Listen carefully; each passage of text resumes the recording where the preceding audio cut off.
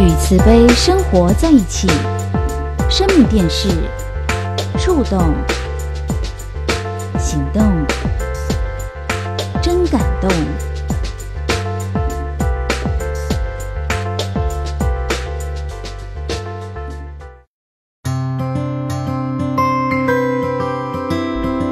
接下来，请收看海涛法师弘法行。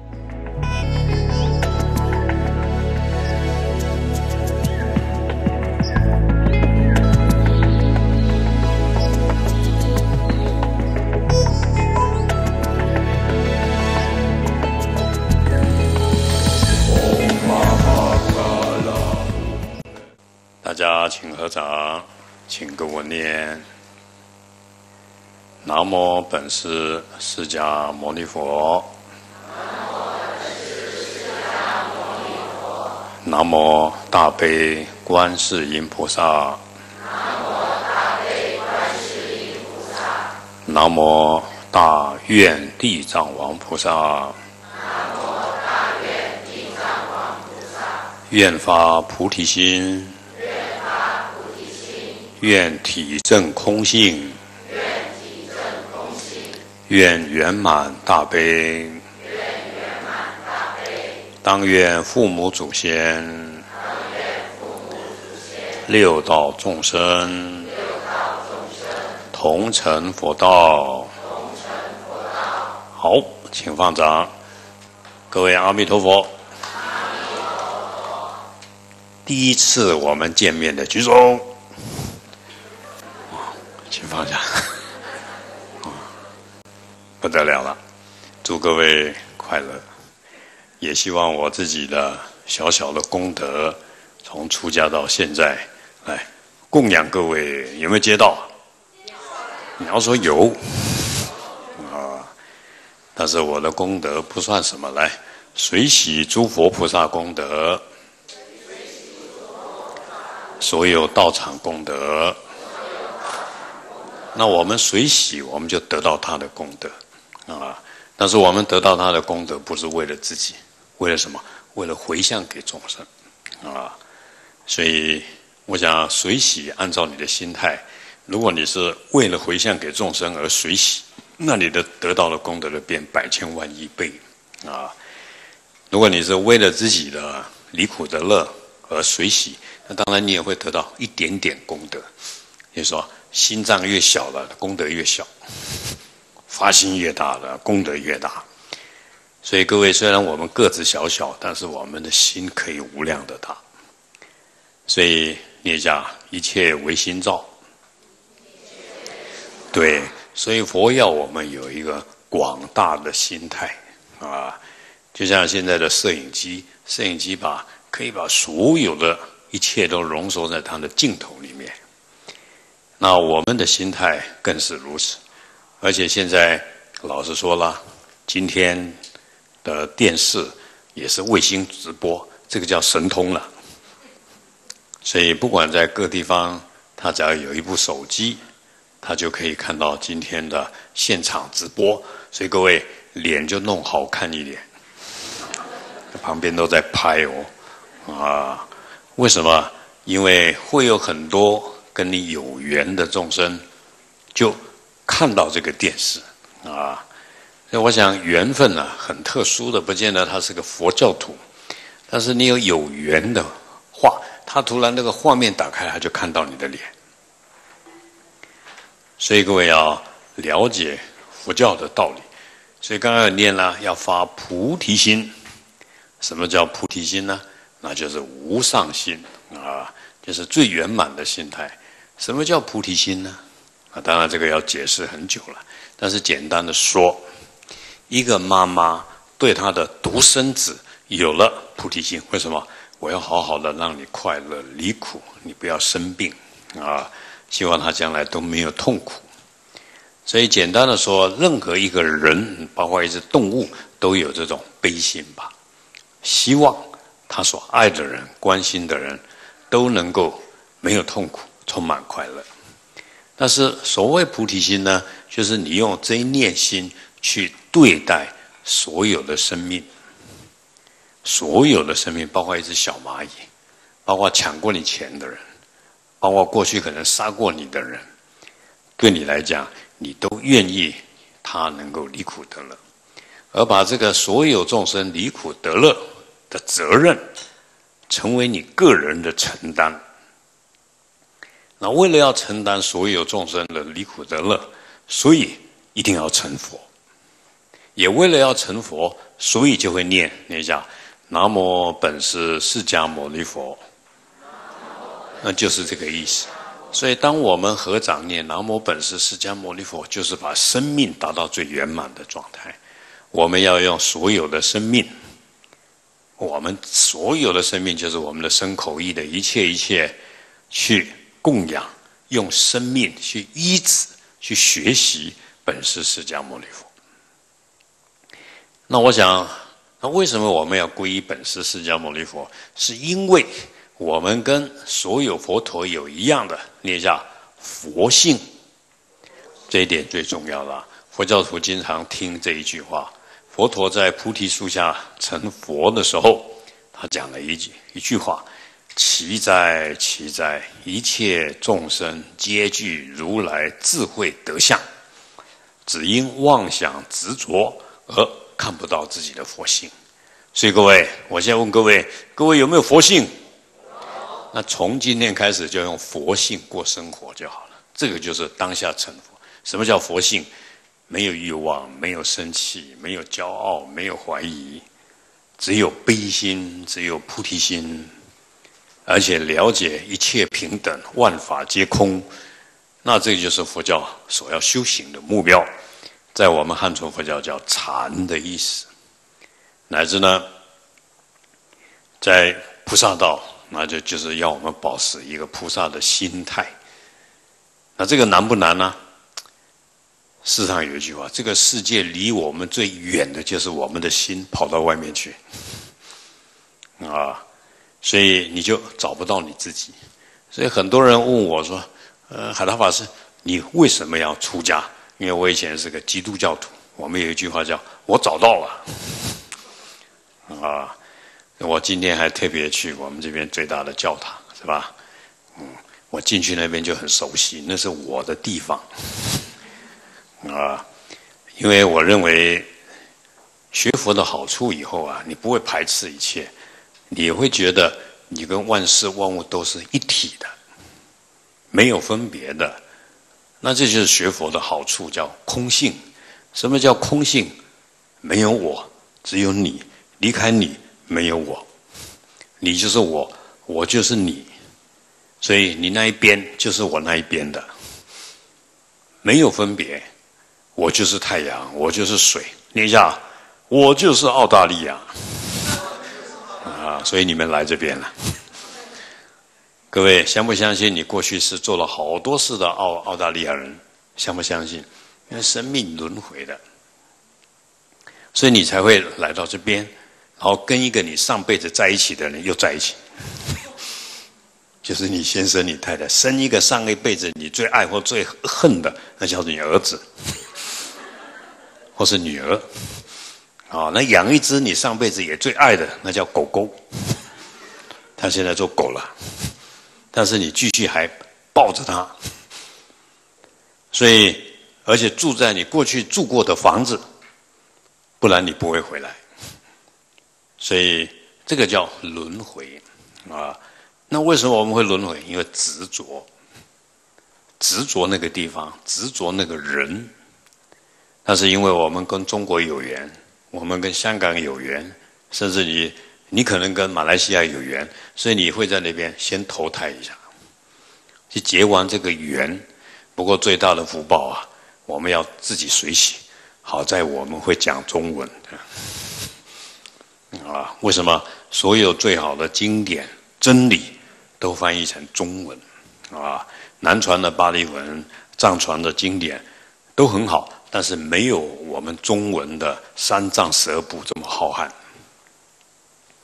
所以我们出家人很想闭关，要把这个藏就是三藏十二部中文的经典看完十年，啊，十年，不然你看不懂。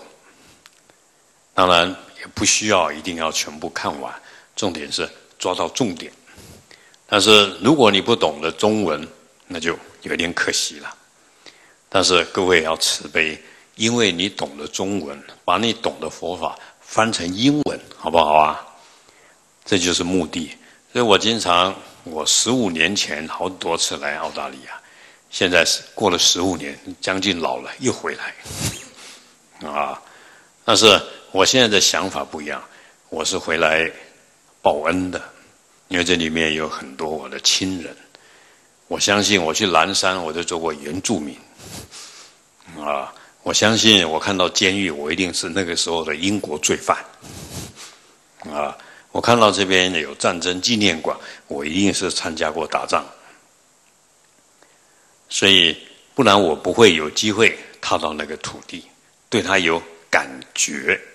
所以我想，所谓空性，并不是什么都没有，而是你看到对方有感觉。所以今天经过那个古监狱，我就一直拍照，一直拍照。刚刚就写牌位，好熟的地方啊！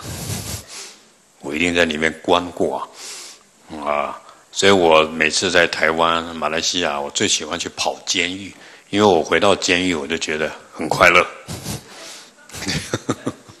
很快乐，很奇怪哦。监狱的受刑人看到我也很快乐，啊，所以有个老和尚说：“你不知道你做过监狱头啊？”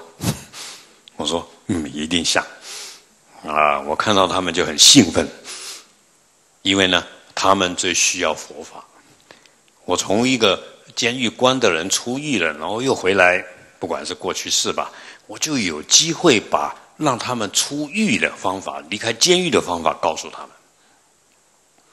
而且我去监狱里面要跟他们讲的题目是什么？来，今天就出狱，相不相信？我讲的是心呐心出去就好了。啊，肉体留在这个地方，但是内心自由就好了。如果你觉得你在被关，那讲的是身体，你的心谁也关不了你。就算你去外面，然后你心里执着，那你天天被关在那边。所以我想有一句话叫“贪嗔痴三毒不除，六道监狱永远关在那边”。所以各位，如果你了解佛法，你愿意不再贪嗔痴，那会不会当下自由啊？会不会？南无本师释迦牟尼佛，看你拿不拿摩。现在是南无儿子，南无老公，南无公司，啊，南无澳大利亚钱。所以你不自由了，啊，因为你把生命的这种快乐依止在这上面，那你就会很痛苦，很痛苦。就像天气，就像股票，就像政治，就像身体，是二十四小时都在变化，对不对？但是如果你你把归会变化的东西，苦不苦啊？苦，一切都在变化，偏偏你跟你老公说你不能变。啊，那是不可能的事情。就像一个女孩子每天照镜子，Hello，你不能变，不能变老，不能变丑，啊，那是不可能的事情。所以各位在这一点，佛教里面的解脱，念一下：解脱不用等未来，解脱的种子在心里。请问极乐世界在哪里？也在你心里。你放下了，你不是极乐了吗？你原谅对方，你不是极乐了吗？啊，你去河边救两只小鱼，你去做一场布施烟供。我这次从雪梨来，他们很好，带我去红木区啊，那是我最爱的地方。啊，因为去那边可以慈悲耶，可以关心他们的，而且做了一场。我边做边往后面看，他们烧了四大盒，天哪！警察会不会来？啊，哇！大家好冲动啊，全部丢下去再说。啊，因为他觉得布施这些食物给这些往生者，他们好喜欢。但是他们跟我说：“你放心，放心，报备过了，报备过了。”我说：“报备过了，烧那么大，他大概不知道。”啊，但是无论如何还是成功了。啊，因为把这个甘露布施给他们，并不是要他们吃到东西，而是要他们呢体悟到佛法。老实说，请问一杯平凡的水，你给他念大悲咒，会不会变大悲观音菩萨的咒水？记住哦，太伟大就是这个地方啊！一杯平凡的水可以变成佛的水。你只要所谓咒，什么叫咒？佛的心叫咒，你不管你念什么咒，你要保护你的心跟佛一样，这个叫念咒。所以你念大悲咒，那你就把观音菩萨的心放到你心里面，这个叫念咒，这样了解吗？所以曾经有个居士跑来说：“师傅，我已经念一亿遍了，唵嘛呢叭咪吽。”我说：“我看你一点都不慈悲，你可以投胎到阿拉伯世界去。”因为你只是在算数字，你并没有修一亿遍的大悲心。我说不要一亿遍，你修一千遍的慈悲心就够伟大了。所以我想各位在这一点，所谓我看有个日本博士他说，各位看过书吧？叫三三什么？他说水，如果你给他讲哦，你好漂亮，我好爱你，它是水，就是结晶就好美，对不对？试试看，今天晚上回去买一颗钻石给你太太，她马上变钻石。啊，他从头到脚都变钻石，啊，因为你的心态会改变，所以各位要了解，所以你的心态，你刚刚讲到念咒，嗡嘛呢叭咪吽，嗡阿拉巴扎那底，南无阿弥陀佛，然后你愿意用佛的心去念咒，然后那个水、那个米、那个花、那个食物就变成甘露，那个往生者的牌位本来在。地狱恶鬼道，他会不会感受到净土？念一下，慈悲就是超度。所以超度没有定法，不能说啊修什么修什么，修什么是为了保护我们的心，用悲心的光明去照消除他的黑暗无明执着。所以慈悲才是超度。一个老菩萨什么字都不懂，甚至一个不会讲话的人。他用悲心站在牌位面前，请问牌位会不会感动？这个就是超度。比如说有一次，有一次，有一次有个印度庙，他们因为他们的圣像要开光，我也不知道那个印度庙好像印尼的，特别要我们去。我后来奇怪，他为什么要我们去？他说那位法师经常在放牛，所以他们印度教说，哎，这个放牛了来帮我们开光可以。来，大家随喜一下功德。我们这十几年来已经救了多少头呢？来，两万八千头。啊，对对对，你赶快赚了啊！啊，两万八千头牛。所以，因为他找我们这个爱牛的人去他们印度庙，印度庙不杀牛了，所以我们去那边念大悲咒啊。他们里面印度人有眼睛看得见，他说：“你们念完哦，这附近的牛啊，跑了很多来，都超度了。”所以他们认为说，因为他们不杀牛，所以死掉的牛的魂呐会来到那边。为什么教堂里面会有亡魂？因为圣母玛利亚、耶稣基督有爱啊。所以我想，当然我讲这个，我顺便提醒各位：如果你是个修慈悲心的人，你可能经常会感受到众生的苦，用你的身体，有时候会头痛啊，有时候会拉肚子啊，啊。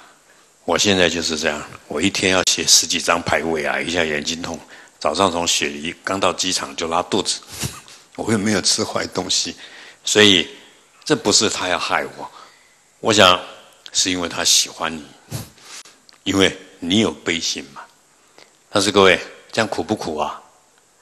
这个叫观音菩萨，你要受苦受难，你才可以救苦救难。啊，如果你怕苦。那你不能修菩萨道，菩萨道就是在苦里面帮助众生，越苦越爱他，就像一个妈妈生从怀孕到生到养育，苦不苦？就是因为苦，所以爱到心里面去。这一点记住啊！所以你能够感受到对方的苦，你才会真心的疼惜他。那我们现在只关心自己的苦，那就变成自私了。在佛教里面讲的空，什么叫空呢？空就是你跟万事万物都连接在一起，就是产生关系。如果一个人有神通啊，你知道啊，原来坐我隔壁那个人做过我妈妈。像我这一次带团四十九位出来，有一位菩萨问一问，做过我妈妈，做过我爸爸。哇，我说我要跟你跪了。但是他就说，怪不得我那么在乎你。他不是跟我谈的，他就是说怕我没吃好啊，怕我干嘛？他整天就在烦这个啊，因为就是做过我爸爸，又做过我妈妈，又男又女，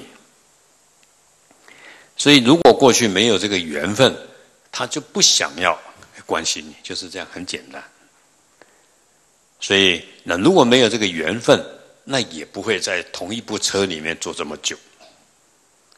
所以佛教里面说。五百世修的同船渡，一千世修的同桌坐，坐同一桌呢。所以有一次我在美国西雅图的机场，要坐到别的地方，然后没有吃早餐，那他们呢到那边办好了再买个披萨，结果买个披萨没位置坐，哇那边客满，那那几班飞机客满，那我们几个出家人不知道坐哪里。然后又拿了披萨，又不能站着吃。后来我就看，哎，远远那个地方好像有一桌，有几个空位。不过那个桌可以坐六个人，但是已经有一个女士，外国女士坐在那边。那我想可以坐吗？她有其他人吗？结果我眼睛看她一眼，她就看我一眼，跟我微笑，意思说来了，可以坐了。因为我看她的眼神很好，所以然后我们就找到三四个，赶快赶快，那边有个坐啊。结果我一坐，他对面有个位置是他先生的。我在想，我有东西嘛？那我们这边坐，然后他就一直看我们在吃，他看了眼高兴，我看他，他也看我，这个眼神好熟。然后师傅，你是他先生啊？然后这四个都是你儿子啊？所以我们一家又坐在这边吃饭了，所以他很满足啊。这个妈妈看到这些流浪的儿子、老公都回来了。他多满足啊！他就边看边笑，这样啊，因为那他是外国人。结果走了以后，我就把我一条最漂亮的链珠，哎呀，碰到老婆了，就就弄得很漂亮，送给他啊。送给他，他突然把这边打开，一尊观音菩萨。外国人呢，可能是美国人，原来他拜观音了，手又打开，带链珠。为什么？所以这个叫因缘，所以我很安慰哦。原来他在修行了。所以各位，但是老实说了，他要走还一直多看我两眼，因为她是女人嘛，自然有这个心态。所以各位你要相信，真是如此，一点不假啊。所以我还没讲完呢，结果进到里面要继续等飞机啦。位置不够，我们吃完了，跟我我找一个位置。另外一个法师就坐在这边，突然坐一个老人，外国人又坐在旁边。这边坐一个男的，那我兴趣又来，我看这个这个女女士很老，看到我们藏和法师就一直笑，一定跟他有关系。我就问另外一法师，他说：“他阿妈。”那我说坐你旁边呢，我爸他爸爸，会不会？这个叫缘分。然后前面有三个印度女人一直在聊天，其中一个眼睛瞄我一下，哎呦，好美！她的眼睛很美，但是她就会看我，我也会看她。我要走了，问一下。刚刚那个印度女人说：“你太太呀，不然你瞄她干嘛？她瞄你干嘛？”各位，这个叫缘分了。我这个人很有福报，我就是因为这样，我相信这些，我才出家的。所以走到哪里，我不敢得罪任何人。你得罪的人，有可能都是做过你亲人。所以我现在都不会打瞌睡，坐飞机我一定要帮他们助念。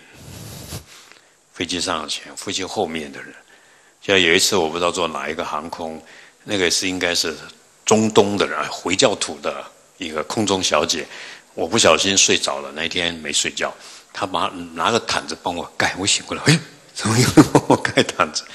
一个女生，结果我看她一眼，哇，眼睛也好美，大概我这个人哦，娶的太太都是眼睛美的，因为我最爱我妈妈。我就是我妈妈，就是眼睛很漂亮，所以每次人家问说你交女朋友有什么标准，就眼睛跟我妈就一样就好了。啊，当然了，那位空中小姐过去就是我的妾妾，啊，小妾，啊，所以各位，这叫缘，没有缘你不会，他不会端个东西给你喝，他不会给你盖被子，谁会给你盖被子？不是你妈就是你老婆，啊！今天你我，所以我鼓励各位去助念了。任何人往生了，你去助念，他没有做过你爸爸妈妈，你没有机会去助念，你没有机会去助念，谁能够去助念儿子？所以各位相信就好了。所以赶快跟你隔壁的人看一下，妈还是爸。啊，不然坐你隔壁干嘛？啊，所以老实说，各位你要了解空性，空不是没有，空是连接在一起，万事万物互相依靠，互相有关系，所以要把握因缘。佛陀就是讲这个因缘所生法，但是佛陀讲的法是什么？佛陀有一次跟阿难。佛陀跟阿难出去，佛陀就跟阿难说：“阿难啊，天空有一只乌鸦，你有没有看到？有啊，阿难，我跟你说，你现在先回答我，把地球万事万物都切成很薄很薄一片一片，可以切多少？”佛陀说：“阿难说，佛王我没办法回答，就算我有神通也没办法回答，太多了。”那佛陀就比那只乌鸦，那只乌鸦做过你妈妈的次数，超过地球切一片一片的百千万倍。阿难啊，你相不相信？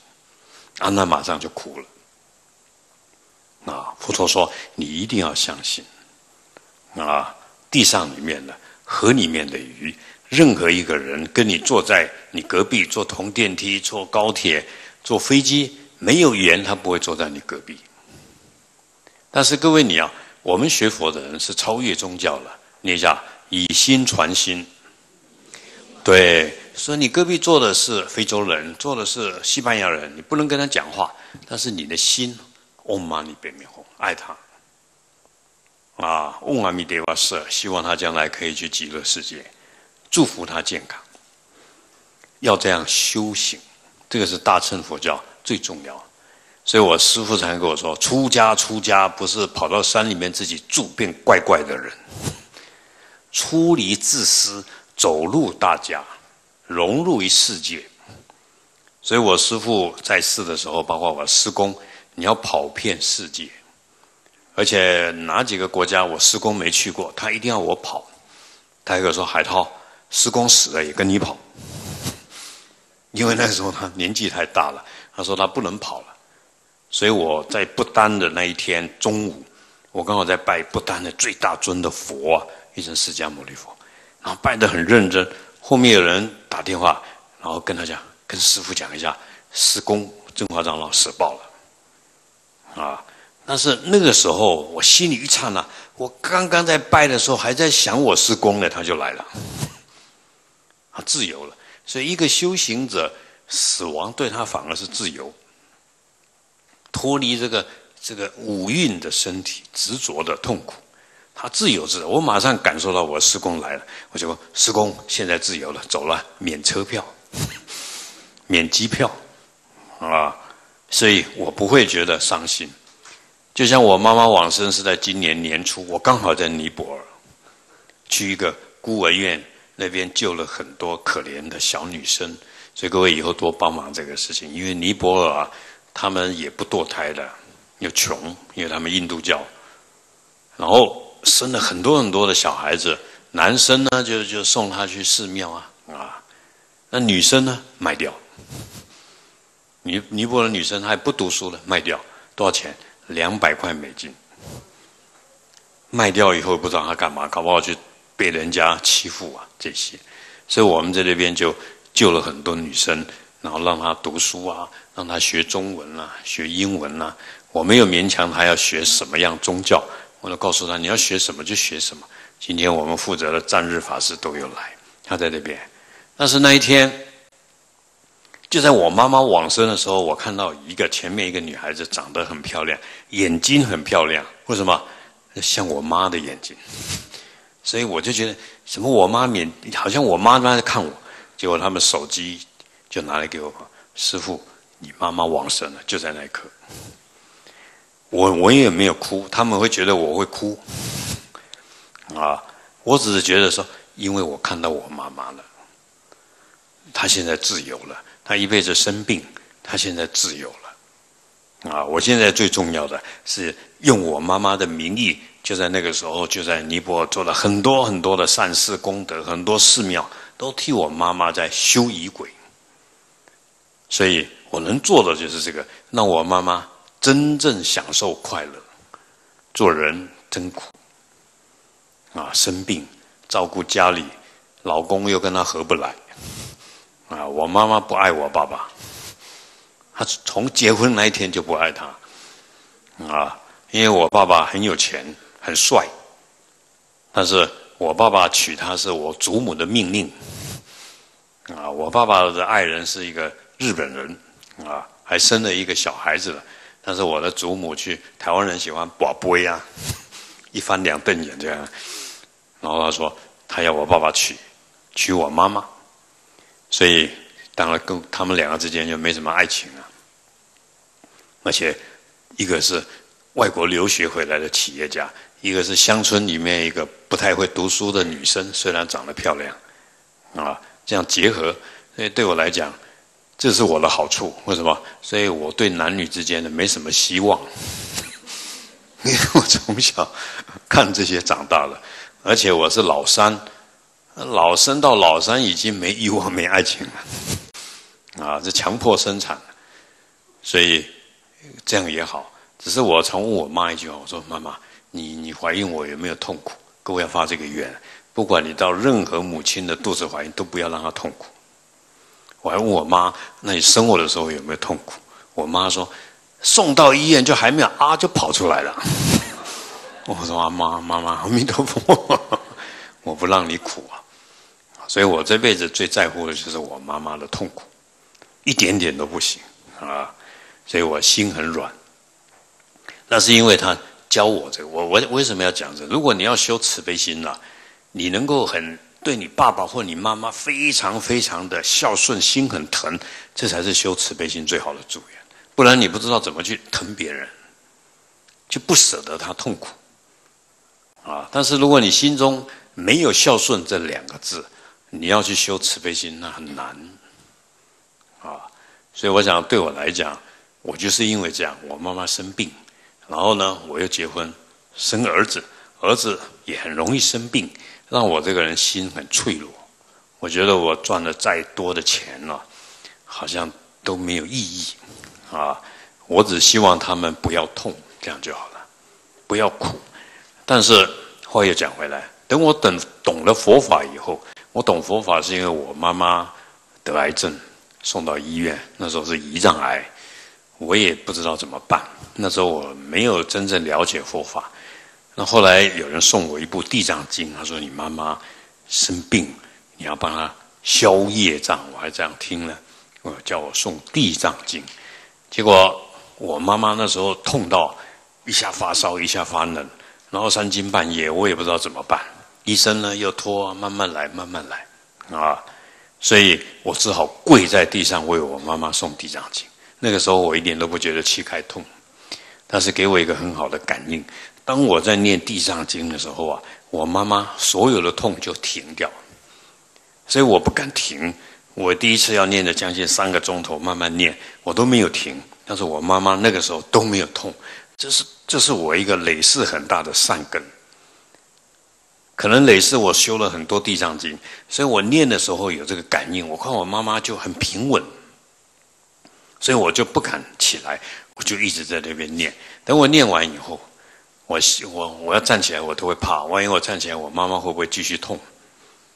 所以我就发愿，我说啊，我读完地藏经，我就发愿了，我要随地藏菩萨这样出家，啊，发这个愿，广度六道众生，因为为我妈妈，我什么都发得出来的，啊。然后等我发完愿，我慢慢站起来，我发我就发现我妈妈就睡到天亮了。但是睡到天亮以后，隔天醒来，我妈妈就吵着要出院了。那医医院不同意啊，因为警察明明是严重的，一定要开始化疗了。但是我妈妈说，我现在不想住在这边，我要回家。后来没办法，我爸爸也同意，我哥哥也同意，医生也不得不同意。他说：“好吧，你们三天以后再回来吧。”啊，结果我妈妈回家以后。都没有感觉到痛，各位这个故事你们不知道听过没有？我在网络讲了几百遍，你们没听过 啊？然后，所以我妈妈就拉着我的手，因为我吃素是因为我妈妈，我说她生病嘛。我那时候是个很喜欢抽烟喝酒、爱赌博、赚钱的男人，花花的男人啊。那是因为我妈妈病得很厉害，有人叫我吃素，结果。为我妈妈，我当然要发愿。好，我就吃素。结果我发愿一吃素，烟瘾不见了。哇，原来我开悟了。我太太，我只要抽一根烟，她罚我一万台币，我都 OK OK，你罚吧，只要有烟抽。啊，戒不掉，打死也戒不掉。但是为我妈妈吃素，她居我居然烟瘾也没有了，而且我妈妈就舒服一点，所以对我很好。所以我妈妈她拉着我的手跟我说。阿香啊，他叫我的俗名啊，你替妈妈发愿，我知道你发的愿你要记得做，会会会。啊，不知道我发什么愿啊？后来还有你你发什么愿？出家。哇，我妈妈哭啊，一直哭。我说妈妈，出家我已经了解了，那是一种快乐，是一种就像你不生病的快乐。或许你会疼我，觉得。我去出家受什么苦啊？因为传统都认为出家是是很歹命的人，对不对？然后做苦工的人，然后没饭吃的人。就像我小时候看到出家人讲，完蛋了，这些人都跟死人在一起，我怎么看到他？啊！所以以前我很喜欢赌博，一出门看到出家人，这下惨了。今天不用赌了，啊！所以香港人一样，出门看到出家人，这下倒霉了，啊！传统的观念就是这样，所以我我跟我妈妈说：“妈妈，嗯，你要相信我，没有苦，没有你哦，我还出不了家，因为你这样，我很有理由讲。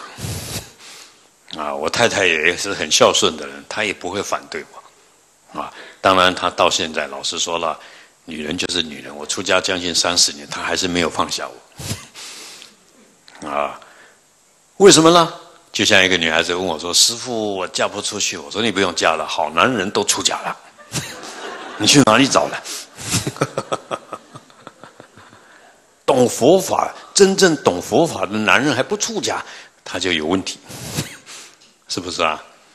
啊，所以当然我太太很漂亮。我妈妈跟我说：“那你出家怎么办呢？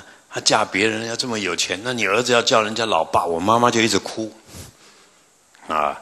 我跟我妈妈说：“你相信啊，我有信心，她嫁不了别人，没有人比我帅，不是外表的问题。因为我要出家前两年，真的是对她很好很好，啊，之前对他很不好不好这样，因为我要出家了。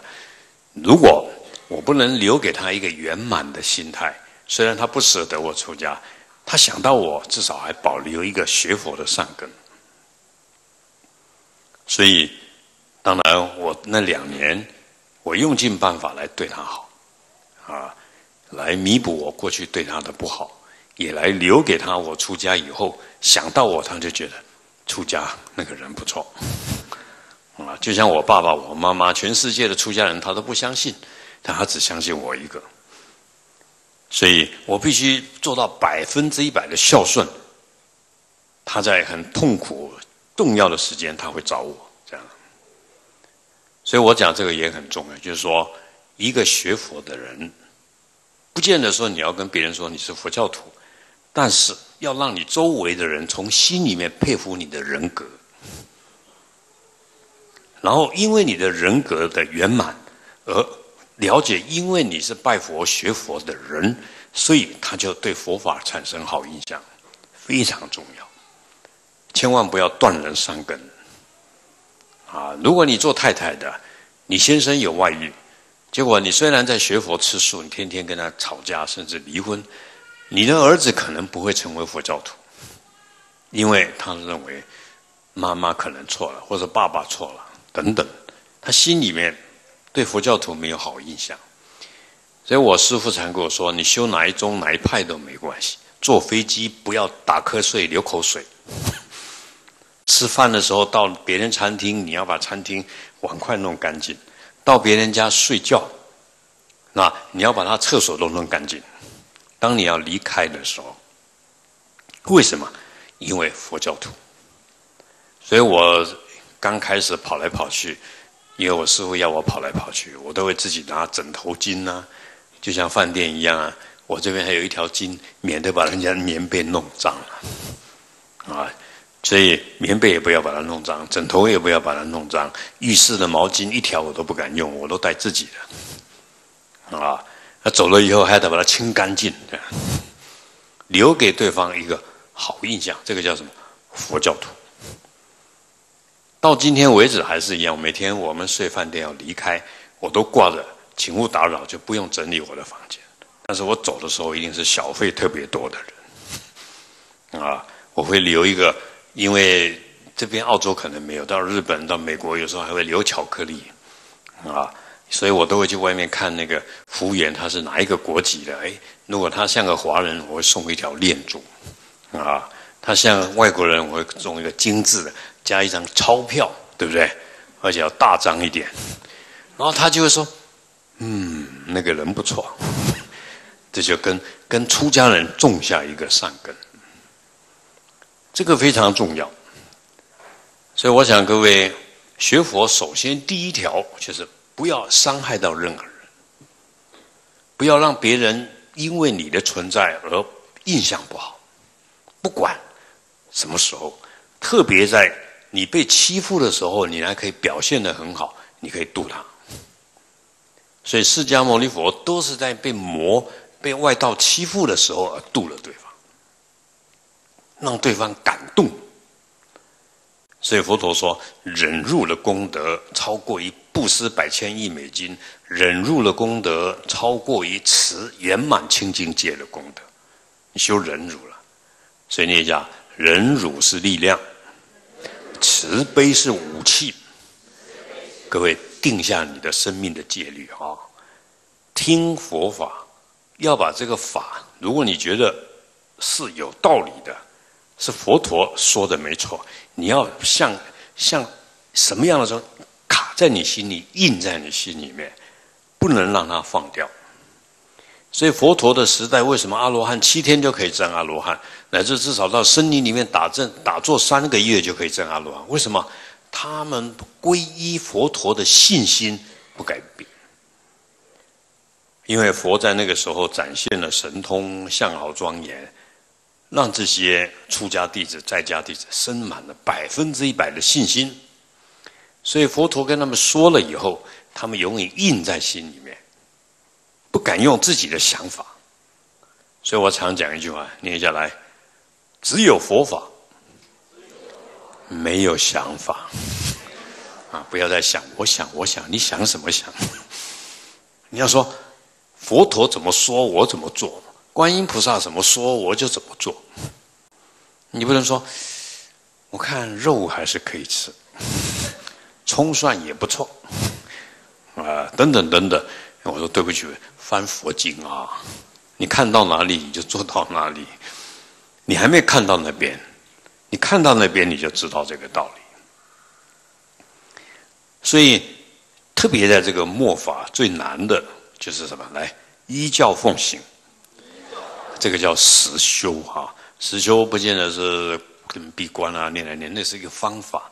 实修是你要把佛陀的教法用在你的生命、待人接物、对待世界。一只蚂蚁在你的洗脸盆。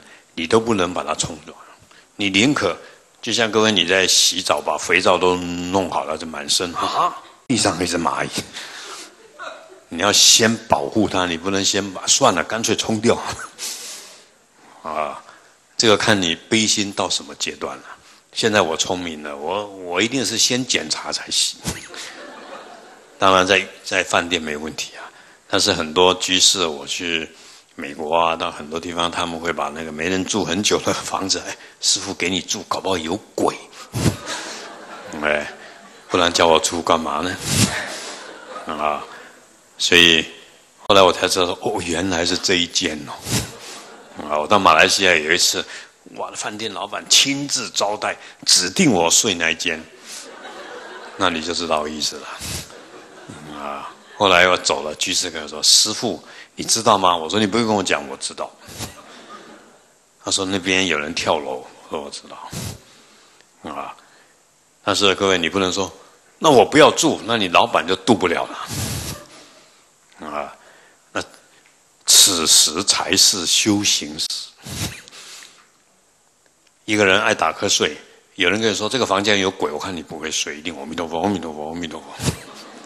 你没有这些对境，你怎么念呢？就像我没有我妈妈的苦，我怎么会修行？我怎么会看《地藏经》这么认真？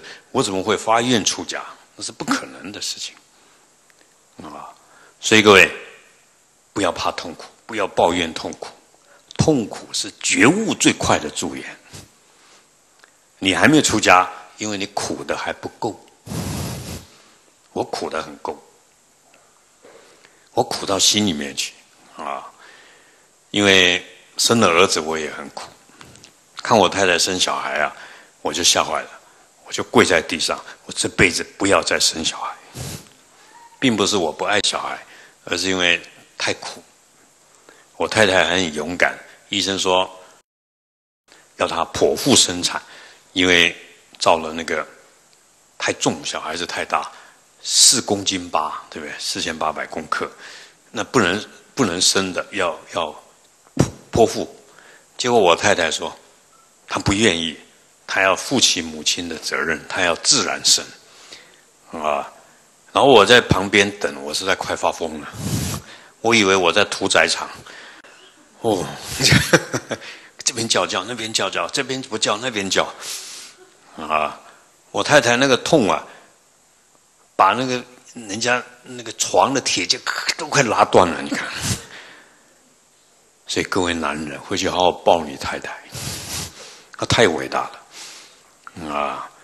所以我我跟我儿子说，我我我等我儿子慢慢长大，我是在我儿子六岁半的时候出家，之前我就跟他说了，我说儿子啊，爸爸会跟你说，你打成肉酱都要孝顺你妈妈，因为妈妈是用命给你换过来的，而且我第一次去参加这种。这种 出生大法会，哇！我才知道什么叫一公分、两公分、三公分。天哪，怎么不赶快变成十公分，裂开耶？啊！所以老师说，各位太太，你也不要怪你老公。他参加你的出生大法会以后啊，他已经对你不敢有欲望了，他已经把你拜拜了，因为。因为已经怕怕死了，啊，所以我觉得当然，很多女人会觉得奇怪，我我怀孕以后，我老公好像不太常回来啊，因为他已经把你供起来当圣母了，因为你是孩子的妈了，不太他是不不再是他性感的小女人了，你的地位提高了，知道吧？啊，所以因为我想到这个，我就觉得。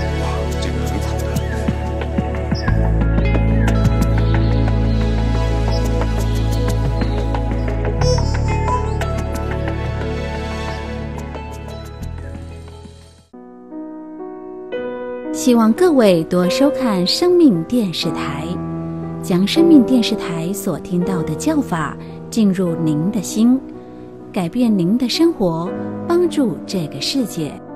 护持账号：一九九六五二三二一九九六五二三二，户名：生命文化基金会。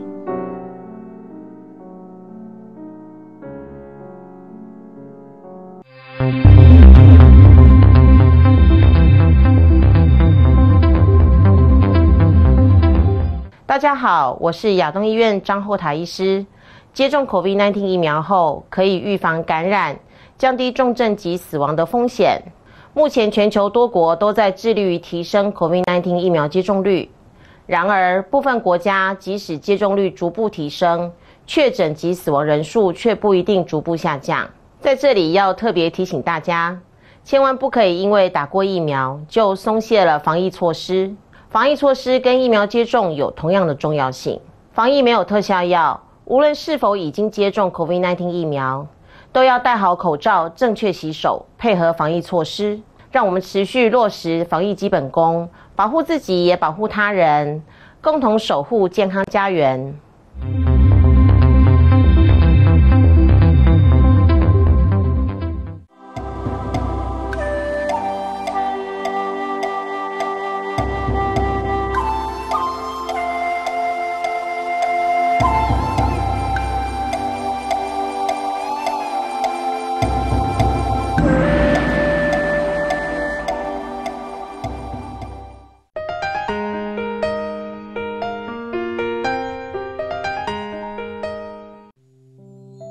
尔时，王舍城频婆娑罗王。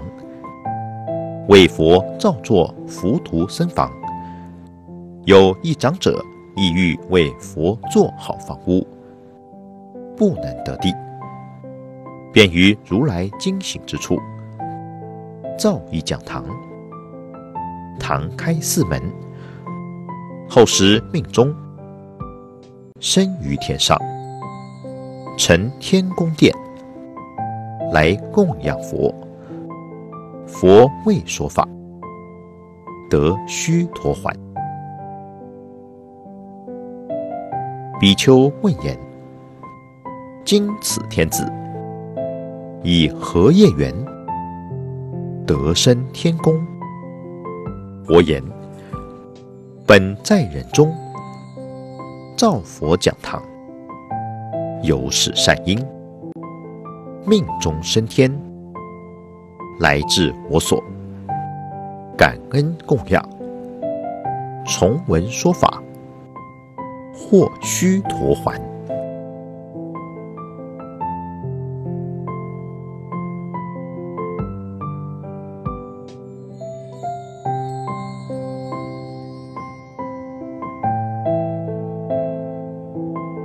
尔时，舍卫国有一古客。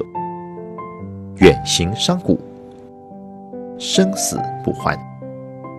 母养妻子，其子长大，父欲远去，祖母缘。如父远去，生死不还。如莫远去，当于近处，在世作嗣。即奉其敕，便于寺中坐于孤寺，而作念言：“此诚人民，悉皆请佛。我今心照设意，亦当请于如来。便往请佛，佛来致意，而白佛言：“我以此舍供养如来。自今以后，入城之时，洗手洗钵，横向我舍。其后命中，便升天上，来至佛所。佛未说法，得须陀环。”丘问言：“此天喜日，以何业缘得生天上？”佛言：“本为人时，心作死色，请佛着中，成此善业。今生于天，又于我所，闻法获报。”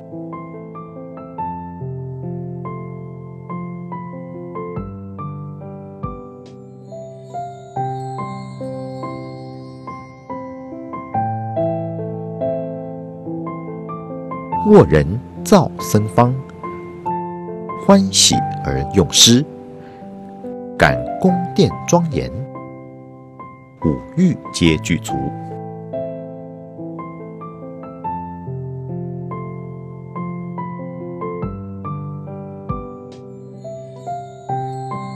诗屋得设宅，宫殿极严厉，宝藏悉盈满。众聚随所欲，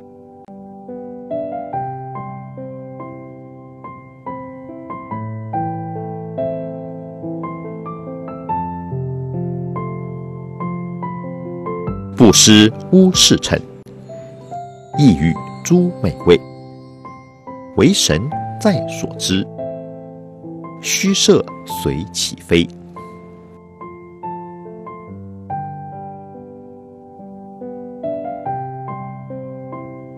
施与屋舍者，后世所指安，公馆诸所居，世事言具足。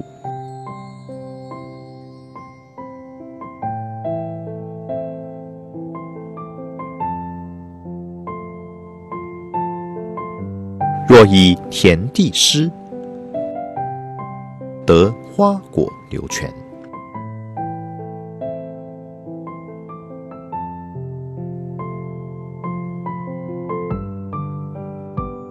施以良田，得仓库隐逸。如比比丘者，个个随所欲，花果及清泉，爱语善安慰。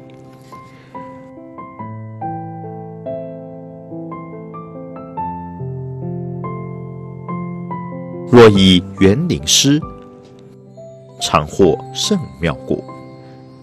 一切所因应，心安无热闹，众人所爱乐，眷属悉具足，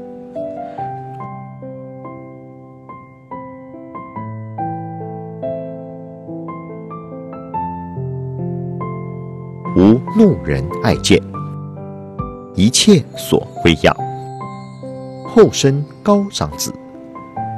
其师远述者，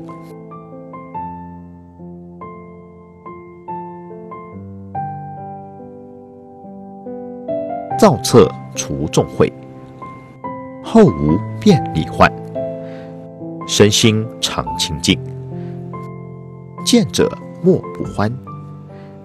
原是离诸垢，究竟获大安。